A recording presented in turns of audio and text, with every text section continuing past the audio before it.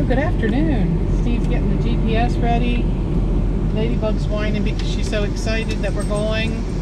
I'm ready to rock and roll. We are about to pull out of the driveway for the holiday weekend.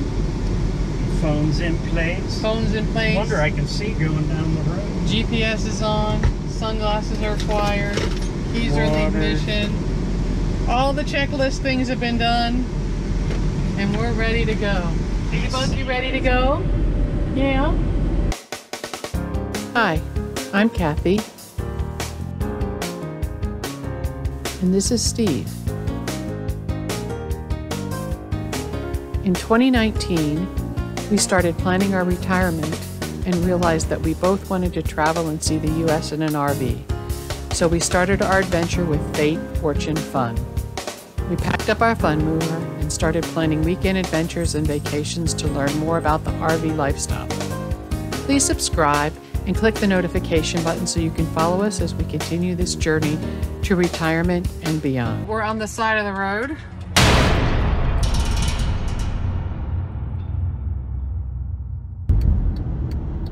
It's funny. We decided to leave early today. We're like, oh, we're instead of leaving Friday morning, let's leave Thursday evening. We can take our time, we can enjoy our trip, and we can relax. Um, and I'll tell you what, didn't expect to happen this to happen. Okay, he's stopping again. He's probably gonna figure out where we want to go. I'm gonna hang hang this up and call him.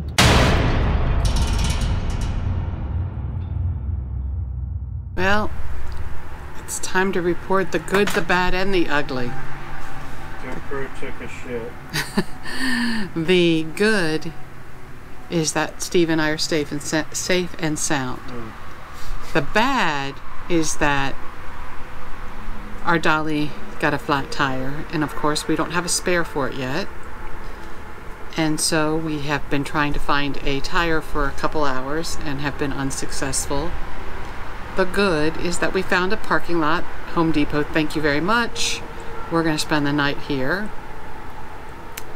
because we're right next to a Northern Tool that we think has the tire in it, tire size that we need.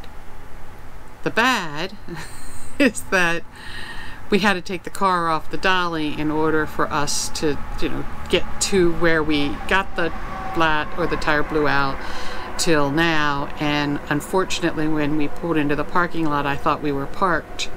So I pulled the car up nice and close to be nice and safe. And we weren't parked. And when he pulled off to park in a better spot, he forgot about the tail swing and didn't realize how close I was.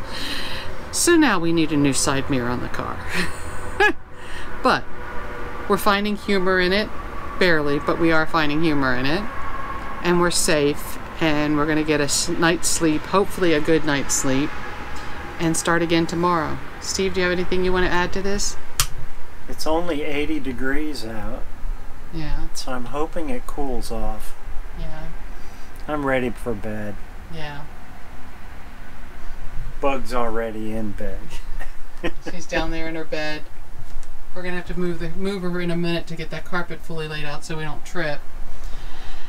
But the good, the bad, and the ugly, you know, thankfully he saw the tire blow. Thankfully the car didn't wiggle woggle everywhere when the tire on the dolly blew and we were safe. And in the end, that's all I care about. The rest, it's fixable. Yep. There's a northern uh, tool right there. Mm-hmm. Supposedly they have them. We'll see. Yeah. The way this is going, we might end up back at home. We're only an hour from home. Yeah, we ended up leaving after work. Um, it's a it's Memorial Day weekend, so I took we we both took Friday off work, and so instead of leaving Friday er- morning early, we decided, oh, let's just leave Thursday night. We'll get you know we'll drive for a little while. We'll find a nice spot to park, and then we'll you know we'll be closer to where we're going for the weekend, and it'll be nice. It's a nice way to ease into a holiday weekend like you said, we're only an hour away from home. And if tomorrow st- starts the way today is ending, we'll be back at home tomorrow. we absolutely will be back at home tomorrow because, Well, this will be home. well, yeah, We'll just keep going, almost to Virginia. There's a lake. We can relax. mm, yeah, I'm ready. yeah. so we're gonna call it a night. So good night, folks. I hope your holiday weekend has started better than ours. Of course, by the time you see this, it'll be a couple weeks from now, but I think we need to turn the generator on and get the humidity out of the air. It's really hot. So good night.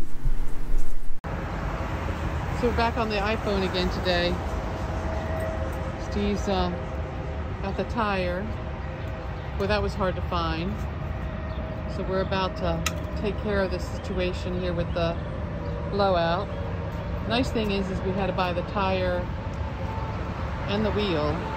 And so now we will have a spare once we get all the tires fixed. So that's our job for today is to get that fixed and see him work through that. And then ho hopefully everything will go smoothly. Famous last words. Is it fate? I brought this with us this time. I know, isn't that crazy? We're thinking Home Depot because this is where our home was last night. Um, we're right next to a Northern Tool, so we were able to buy a tire at Northern Tool. It's going to get this done. I'm not going to record the whole tire changing. I assume everybody knows how to change a tire. And just for the record, for safety, we are still hooked up to the RV, so you don't have to worry about us rolling back into that blue and green car. Truck. A truck. I'm sorry. Yes, Steve is right. That is a truck. So he's going to take that off. He's going to inspect everything, make sure we're good and safe. Then we'll be able to pull forward and pop the pilot back up on there and continue on our day. So the tire is back on. We just had a nice gentleman come by, talk to us about tow dollies. And so you can see my shadow. So the tire's on. That's the old tire that came off. It is low on air, so Steve's about to fire up the generator and get the air pressure and air, the air compressor going so we can get some air in there. Get this tire in the RV somewhere and uh, head on down the road.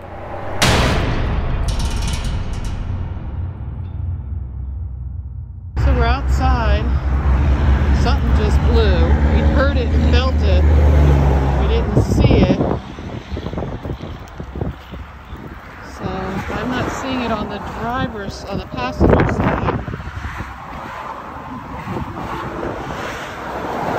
Thankfully we were able to pull over. This is not our weekend.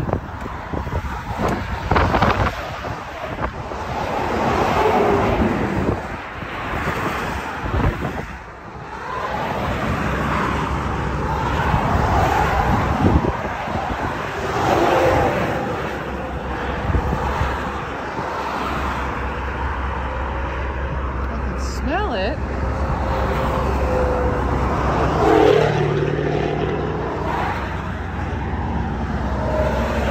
Front, maybe?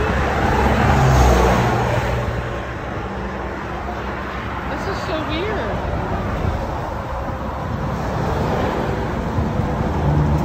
Is it an inside tire? That one? Shut it off. Yeah, let's shut it off.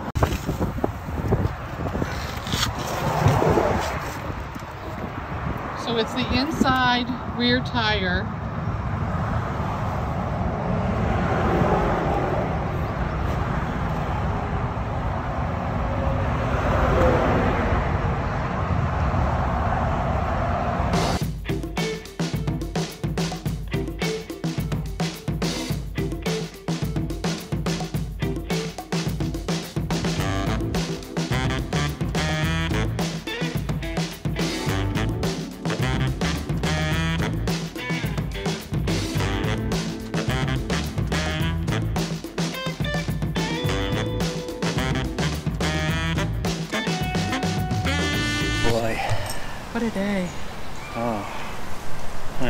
Glad we're parked. Yeah, glad we're here. It was a, quite the adventure getting here. One blowout wasn't enough. Correct. It took two of them. Yeah, so let's do a little backstory because I'm not sure how much was caught on film. Yep. So, excuse me while I scratch my nose. I think every video has me scratching my nose. So first, we are in a campground, so there are kids riding bikes and having fun. So if you hear kid noise in the background, smile because that's what camping is all about. Yep. And Virginia's right over there. Yeah, exactly. Other side of the lake. And so it's Memorial Day weekend, 2021. We uh, made reservations for Friday night, Saturday night, and Sunday night at this campground Lake Gaston in Littleton, North Carolina. It's a Thousand Trails Park. We made the decision to leave Thursday night after work to get a jump on the holiday weekend traffic. Get up this way, Camp Walmart. Mm-hmm. Little did we know we'd be Camp Home Depot. yeah. So we are an hour, hour and 15 minutes from home. Yep. And what happens? Just north of Charlotte. You tell the story because it's your story to tell. We're just north of Charlotte on 85. Ironically, right where we used to live. Did live there for a while. And I just happened to look over in the side mirror and see the tire explode. On the to- tow dolly. Yes. Well, at that point, we weren't sure. We just saw the tire blew, but we didn't know where because Right. you saw the actual tire shreds going. Exactly. I saw the boom, Right. And it was a big boom. So I thought. I didn't hear it or feel it. He had the vehicle under control the entire time, which made me feel so safe. And he was like very calmly It put his turn signal didn't. on and very calmly pulled over into the shoulder of the road and went, "We just blew a tire." Yeah. Right before an exit, Yep. with which, ironically, one of my friends, his sign shop was right there. Yeah, Yep. So we were able to pull the pilot, which is what we tow off of the tow dolly. We caught it early enough that the tire didn't totally shred. Mm-hmm. I mean, it was done, but we could at least limp a couple of miles Right. to get to where we ended up finding, well, Home Depot and Northern Tool. So what happened is I followed him to the next exit, and I did get some video of that on my cell phone. Yes. And then once he pulled off the shoulder on the exit, I zipped around and then went ahead to scout a place that he could pull into easily and we could be safe. And thankfully, there was a business park right there, so we pulled into some business's parking lot. It was Friday, it was Thursday evening after hours, so we felt comfortable doing that. Yeah. Then we got on the phones, our phones, and started searching for somewhere that we could find a tire. We thought maybe Walmart because I've seen they have tires and with the rims and everything ready to go. Mm-hmm. And yeah, we hopped in the pilot, drove there, and searched. Of course, they were already closed, the tire department, mm-hmm. and I wasn't able to find anything. I found one. It was kind of like putting a donut on a car. It's a smaller one, but I think it would have fit.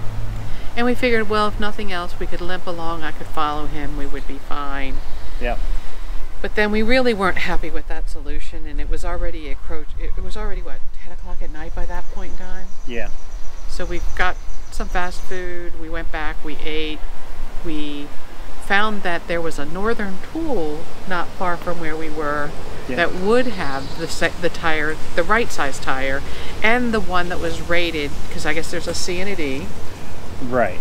and there was one that was rated the D, which is the higher quality, higher speed and weight of the two. Correct. So we decided let's go get that one, and so there was a Home Depot right next to the Northern Tool, so that ended up working out really well for us. I actually never realized the tires that the manufacturer put on the tow dolly mm-hmm. were C rated. And that's how Not many? heavy duty enough. Not heavy duty enough. And what was the speed limit? 60 No, 60 is what we have on there. 60 was the D, Or I think. 55. 50 or Maybe, 55. yeah. So I don't know. you would really have But to it watch could your it didn't haul as much weight. Couldn't support as much weight. Right, right. So right now, so we got that Northern Tool. Unfortunately, they only had one, not two. So we got mixed tires on the dolly.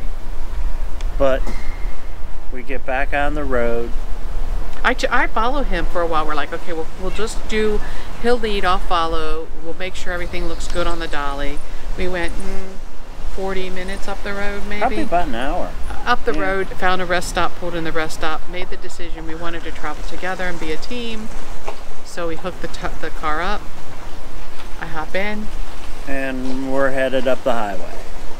We get a couple hours more down the road, Up by Raleigh. And we hear Actually, this. right before the 40 and 85 split. Yeah, so if you're familiar with the area, two highways convert, uh, split off. And when this tire went boom, Oof, there was no doubt. no It was- doubt. Boom. Boom, you felt Rattle, it, you rattle, heard rattle, it. rattle. And thankfully, once again, Steve Conley put the turn signal on. We were thankfully we were in the right lane. Put the turn signal on, pulls over to the shoulder of the road. Now we're dealing with an RV tire that blows, and unfortunately, it's a highway. And while he has a jack and can fix a flat, we hadn't We invested in a a, spare. or spare. Yeah, we didn't invest in a a spare spare. yet. And since it's for sale, we were debating whether or not we wanted to get one, just because it's expensive. Right. So made a phone call to an automotive tire company, which I do not remember the name, but I will put it in here. The people on the phone could not have been nicer, but they did not carry the size tire we wanted. But they did steer us to somebody that did roadside Right. truck repair. So I did the I did the basically what we were doing. yeah. So I did what you should do is go. Is there someone you could recommend in the area that could help us? And they were very wonderful about helping us, which is why I want to give them credit too, Yes. because they steered, us us to the- the right people. The- that were local. Right. The Piedmont Truck Tire Company.